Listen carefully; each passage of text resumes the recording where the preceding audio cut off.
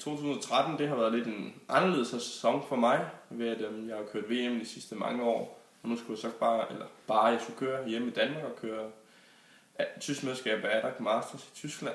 Og øhm, jeg startede ud med, at jeg skulle komme tilbage fra min skulderskade i løbet af vinteren, og det tog lidt længere tid, end jeg havde regnet med at komme tilbage fra den, og det tog også lidt længere tid at vende mig til at køre på 4,5'eren. Men jeg synes sådan omkring sommerferien, der fik jeg vendt, og det begyndte at gå bedre og bedre. Jeg følte mig bedre tilbage med motorcyklen og fået sat den bedre og bedre op. Og så resultatet også sige, at øh, jeg, den resultat blev noget bedre. om jeg nåede min målsætning om at blive top 5 i ADAX, som jeg var rigtig, rigtig glad for og stolt over. Og desværre så missede jeg DM'et med ja, marginaler. Det var gået næsten ikke være tættere på, men øh, alt i alt synes jeg, det har været en blandet sæson, men det har faktisk været en god sæson, synes jeg, at øh, jeg har fået vendt mig til fine halveren. Jeg har været rigtig glad for de mennesker, jeg arbejder sammen med i år. Og selvfølgelig, man vil altid gerne vinde, ikke? men øhm, jeg føler, at jeg udvikler mig rigtig meget i år. Ja, så man, man siger alt, alt har det faktisk været en god sæson. Øhm, til næste år har jeg lavet aftale med, at jeg skal køre for JV Arts igen, Honda herhjemme i Danmark, og jeg fortsætter med mit tyske team nede i Tyskland. Og det er jeg rigtig, rigtig glad for. Jeg føler mig godt tilpas med dem dernede og med Jens og herhjemme, så øh, det er jeg rigtig, rigtig glad for.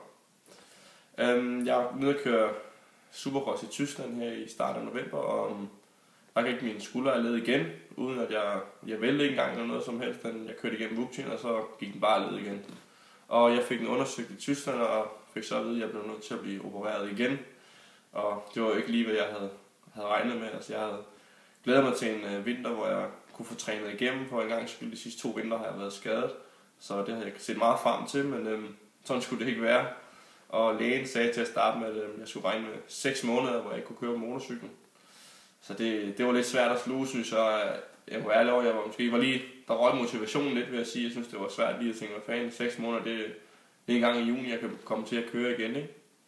Men øhm, jeg har selvfølgelig valgt at få den lavet, fordi at, øhm, det skal være i orden for at kunne køre optimalt, så jeg blev opereret her 3. december, nede i Tyskland, og um, operationen gik rigtig godt. Og um, det er gået cirka tre uger nu siden operationen. Jeg føler mig føler, at det går rigtig godt med skulderen. Jeg føler, at faktisk den er noget bedre end sidste gang, jeg fik den opereret. Så det synes jeg øh, lover rigtig godt og er positivt. Og lige nu har jeg svært ved at se, at det skal tage 5 måneder, 5 til 6 måneder før at komme ud og køre igen. Men øhm, jeg, er jo, jeg er jo ikke læge, så jeg må prøve at lytte til dem og føle mig frem, hvordan det går med skuldrene og få det trænet rigtig godt op.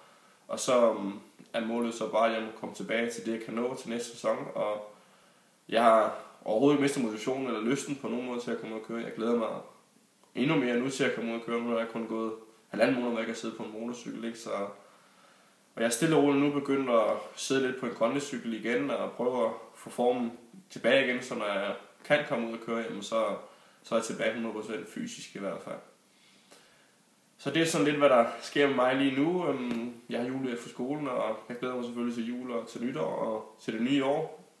Og så vil jeg bare gerne sige tusind tak til alle jeres sponsorer, som har hjulpet mig i år og gjort det muligt for, at jeg kunne komme, køre det, jeg kunne og opnå det, jeg kunne. Og så vil jeg bare ønske alle sammen en glædelig jul og et rigtig godt nytår, og øhm, håber at se jer ude på banen igen, når jeg kommer tilbage.